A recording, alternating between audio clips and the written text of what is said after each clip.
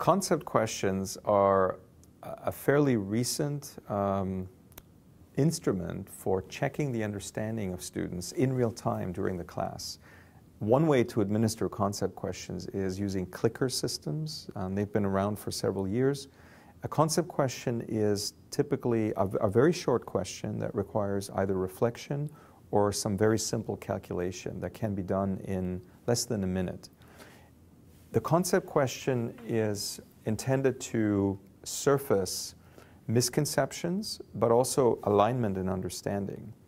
And, you know, I do administer the concept questions using, um, in this case, Google Forms, but, you know, there's other ways to do it, essentially providing the students a very short URL, a link that they can enter um, either on their laptops, even on their smartphones or on their tablets. And usually a concept question is a multiple choice question. Sometimes it's very easy, sometimes it's quite tricky.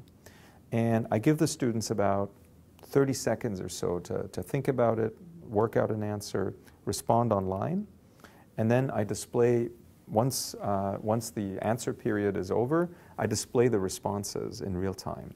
And what's nice about it, in the context of the SPOC, it doesn't matter where the students sit, whether they're with you in the classroom, whether they're online, everybody has the same link. So you're getting everybody's responses at the same time. So it's a great mechanism for engagement.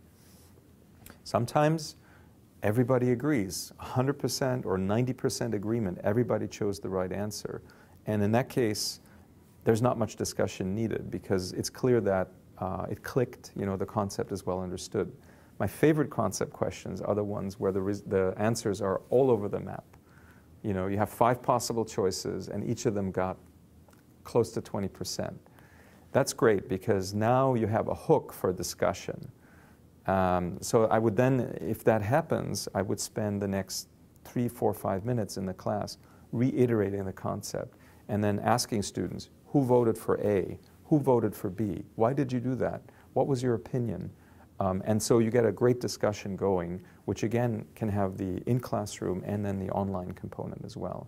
We also use the chat during those uh, post, uh, post-concept questions, and it's a great way to activate it. And there's a second uh, reason I also do concept questions, at least one during lecture, which is it's a great way to track attendance.